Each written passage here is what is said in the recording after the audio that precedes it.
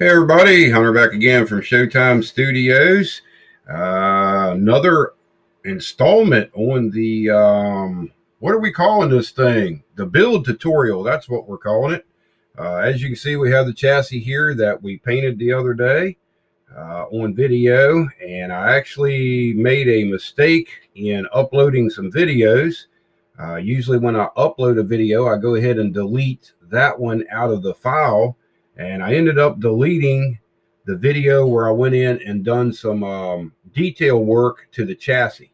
So unfortunately, once you know it's done, I can't go back and redo it to show you what all we done. Uh, but it's very simple, basic stuff. Uh, we did go in with the Tamiya panel line uh, accent color and I use the gray on a lot of the connection points for like the four link bars and like where the battery box sets up against the uh, frame rails, where the cross members go against the frame rails, uh, the front suspension, stuff like that.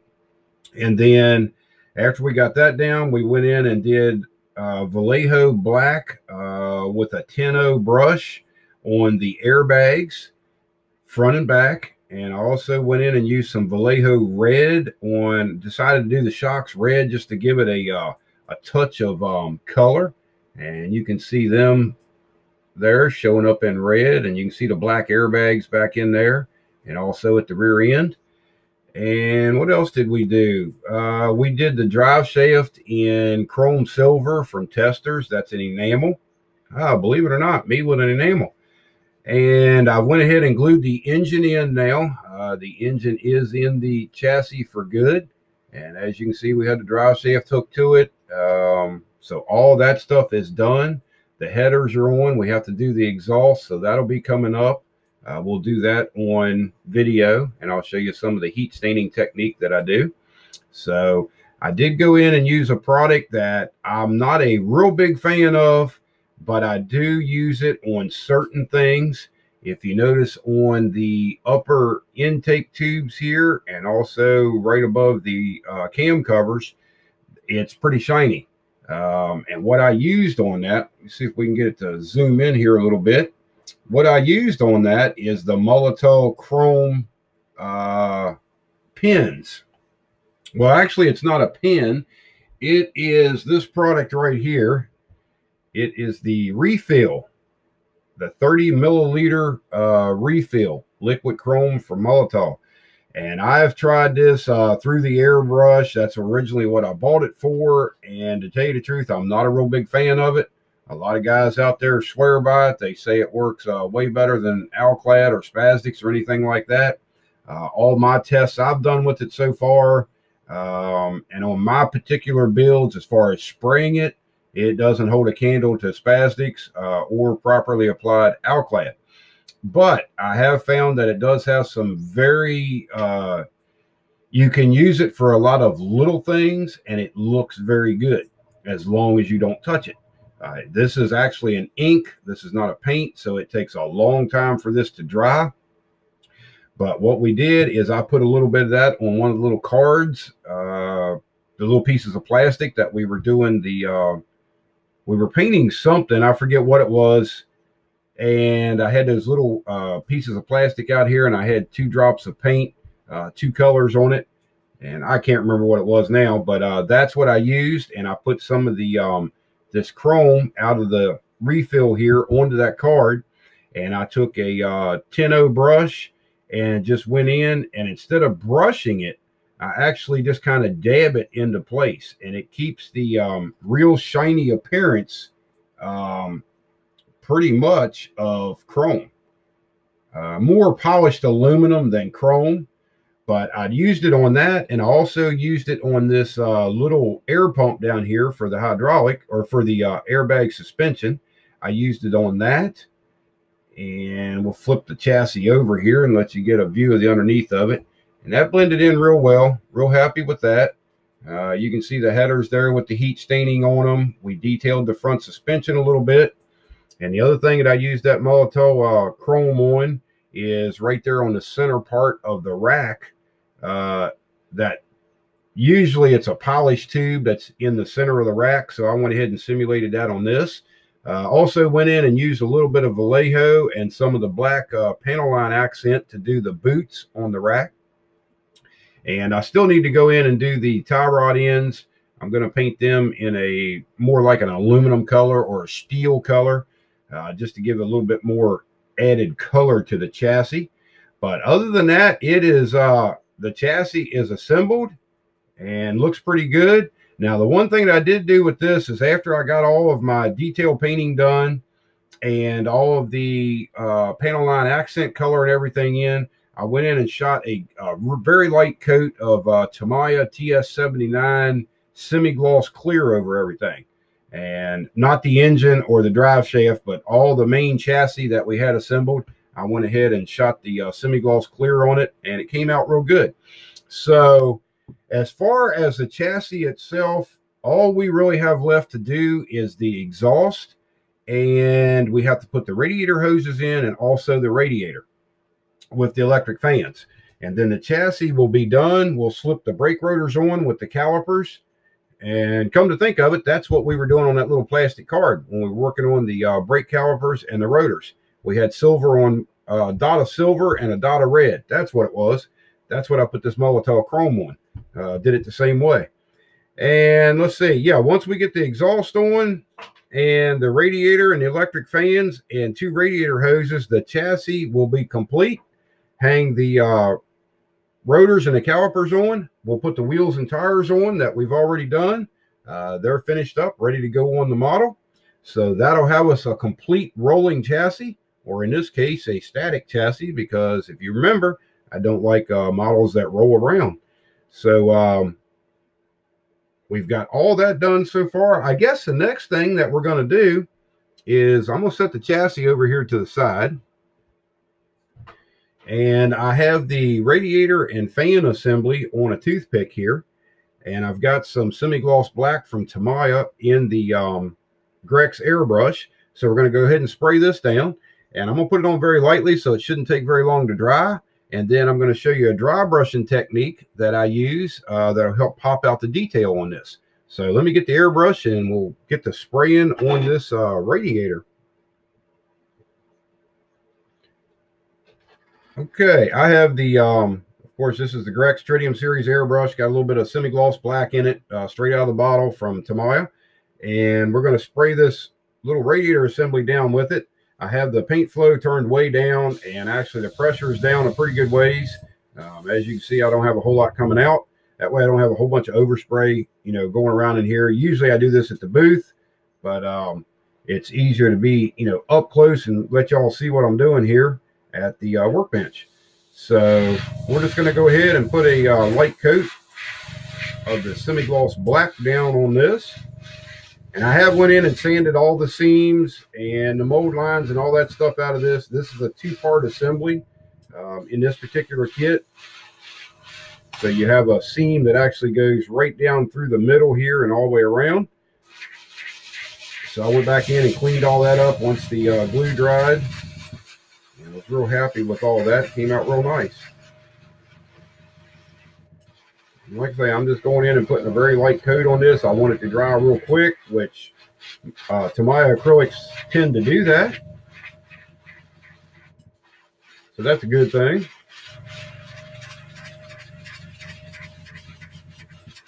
And if I was over at the spray booth, this would already be painted by now um, because I have the uh, the paint flow turned up a little bit more. Like I say, I'm trying to limit my overspray since I'm sitting here at the workbench.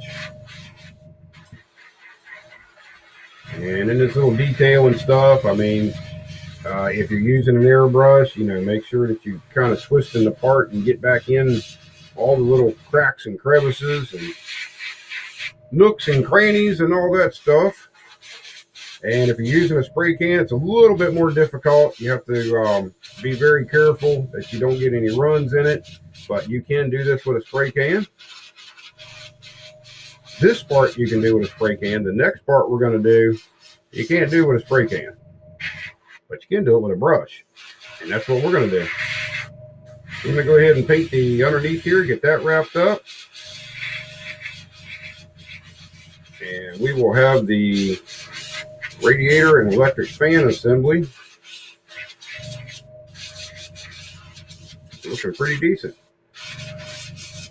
And again, that may seem like I'm putting a lot of paint on here because I've been spraying for a while. Um, I have very little bit of paint coming out of the airbrush. See, I can go over here and it takes that long to create a dot. So I don't have a whole lot of overspray.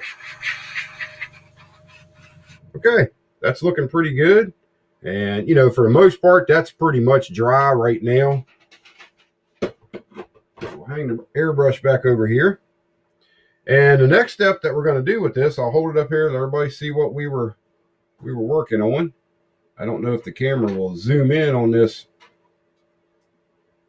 Well, that's not too bad. There's the electric fans. And as you can see, I mean, everything is all the same sheen, uh, all the same color, front and back. So now we're going to change that a little bit.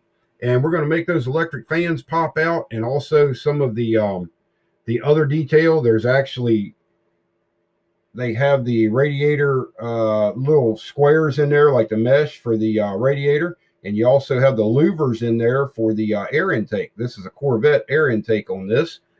And that's actually where the air cleaner sits, is in that box right there.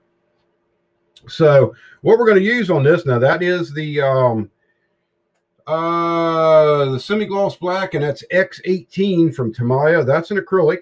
But what I'm going to be using for the dry brush technique is, turn around here the right way. This is a dark gray from Floquil, and this is an enamel color.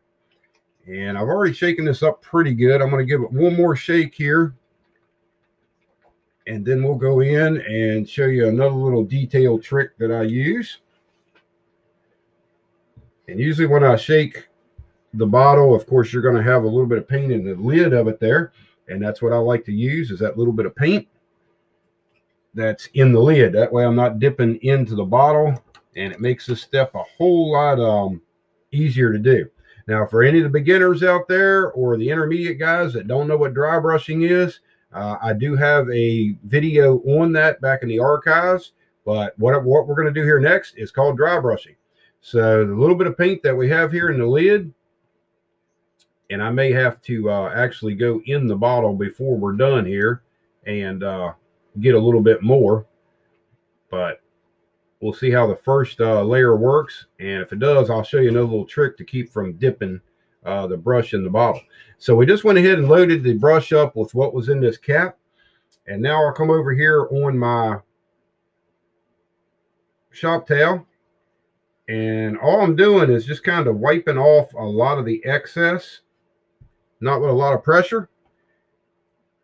You want to leave a little bit of paint on the brush. And then what you're going to do is just kind of come in and very lightly run the brush over the high points of your detail. And what that'll do is it kind of highlights the edges and it makes everything, the detail really show up and look a whole lot better. And I'm going to go ahead and do like just the electric fans right now, and then we'll hold it up here and let you get a, a view of uh, what we did. Because I'm sure it's a little hard to see.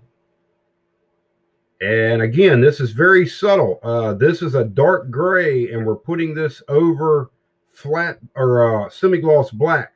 So it's not going to be real stark and in your face. It's going to be very subtle especially when everything dries up. Um, we'll hold it up here again and we'll spin it around here the right way. Now, if you remember when I held it up the first time, remember how all that blended in? Uh, now you can start to see that stuff pop out. And we're not trying to totally coat in the surface. We're just dragging the brush across the high points of the surface. And now I'm going to move on to like the edges of the um, fan shroud that goes on the radiator. And then we will also do the edges of the radiator. So basically what we're doing is we're going to dry brush all of the edges of the part that we just sprayed semi-gloss black. And I'm starting to run out of paint. So one little trick I was, I was going to show you here is you can put the cap back on when you're doing this technique because the one thing that you don't want to do is get too much paint in this brush If you start getting paint that wicks all the way up here to the ferrule of the brush, that's way too much. And even though you get most of it out on the cloth, it's still going to be too heavy to do dry brushing. So you want just a very little bit, bit of paint on the ends of the bristles when you're doing this. So if you run out, just put the cap back on the bottle and shake the bottle up again. Take the cap back off, set it down, and then the amount of paint that you have here in this cap will do your next session. And probably that'll be enough to do the rest of this radiator. So we're going to do the same procedure. We're going to come over here. We're going to wipe off both sides of the brush. You notice I flip it over and you're just looking for a pretty light trail about like this right here. And then you just come back in and very lightly touch it. Now, another little trick to this, if you just lightly touch it and you think it's putting down too much and you're not, you think it'll be too bold, come back over here to your cloth, wipe off a little bit more, and then go back and try it again. But be very light with the touch on this um, because you're not trying to put a ridiculous amount of paint down. You're just trying to highlight things and you're not trying to change the um, the color of the whole component. Like right now, I'm coming across the um, the simulated uh, radiator fins, and I'm just lightly dragging the brush across that and dragging the corners and we're going to go back in here and use up a little bit more of what's in the cap and that should finish this piece off And if you do load the brush a little heavy, you know, once you get the hang of this technique, you can vary the pressure that you're putting on the brush in different areas on how much you actually want to put on or how little. But if you're a beginner and you're just trying this for the first time, you know, practice this on something that's not going on your model. And that'll give you a little bit of experience and, and you'll know what to look for um, as you're doing the actual model. And yes, this is an enamel, and people, some people say you can't put an enamel over top of a uh, acrylic. Uh, if you're dry brushing, you're not going to have an issue with it because there's not enough um, solvents in the paint to affect the acrylic. Now, if you was brushing this enamel uh, in a full coat over top of the acrylic, you would most likely lift it or have a reaction with it. But just dry brushing technique, you're not going to have that problem. Or let me rephrase that and say you should not have that problem. But if you put it on too heavy, you could have a reaction. Now you can use, you know, a water based, you can use any type of acrylic to do this. Um, I like the enamels, and I also like um, the some of the Tamiya uh, bottle colors for dry brushing. Like when I'm doing a weathered subject or something like that, I'll use like the buff or the wooden deck tan from Tamiya and dry brush with that. It comes out very well. Okay, so that's all there is to doing that part. I'm going to put the cap back on the bottle here and I need to clean my brush up real quick and then we'll hold this up and I'll show you how it came out. And I keep a bottle of this brush cleaner here that's, if you look down in that bottle, it's pretty nasty looking. Um, and I keep one that's totally clean. And the one that's clean is for like getting the uh, extra accent color, the panel line accent color off or cleaning up from you know dry brushing or weathering or something like that. And then this bottle with all the junk in it is what i use to clean brushes and stuff out. And as far as the brush uh, that's another thing i probably should mention here for the beginners uh, that haven't done dry brushing. This is uh, about 3 sixteenths of an inch wide. You can go to the wider dry, um, brushes to do uh, dry brushing uh, this one here is a little wider. This is also a dry brushing brush that I use. And you can even go up to something this size. Uh, but when you start getting up into something this big, you have to be doing a bigger part because this will, even though you're wiping it off on the towel, it's going to put a lot of paint down on the surface. So try to, um, you know, starting out, try to go with something like maybe an eighth inch or a three sixteenths. And this is a flat brush and it has a straight cut end on it. You don't want to use a round brush or anything like that for dry brushing because you just want to lightly run this over the surface and you don't want the point or anything to go down into any, you know, any of your details because it's going to mess it up. So that's that. And we'll put the cap back on the thinner here and I'll hold this radiator up and I'll show you how the dry brushing technique came out.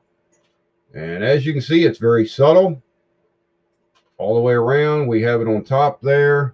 Uh, we also did the front side of it around the sides.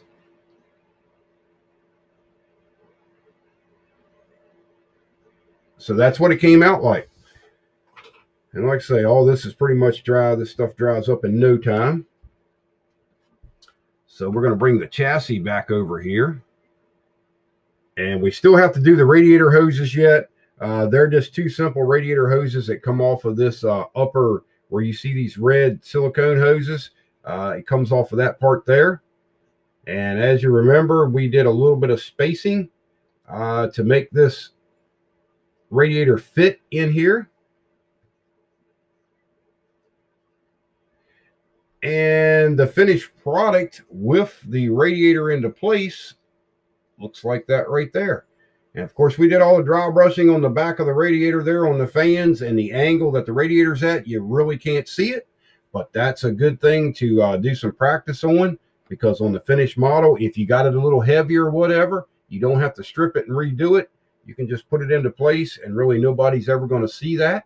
So that for the most part wraps up the chassis. I'm going to get this. I've got to do the radiator hoses, get them glued to the engine and they'll come out here and hang in the midair, and then we'll put the uh, we'll assemble the uh, radiator and glue it to the chassis and to the radiator hoses.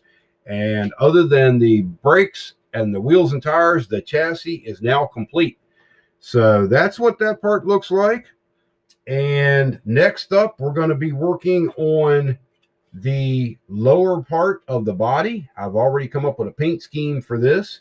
Um, I hope it's going to work. I talked to Sandy about it, and she's a little hesitant on doing multicolors, but I think once we get it all done, it should look pretty good. And if not, I'll have to come up with something else because we're going to be doing it on camera. So it's uh it's one of them things that's going to be permanent, I think. But I think it'll look pretty good. So we're going to also do some wood graining on the body.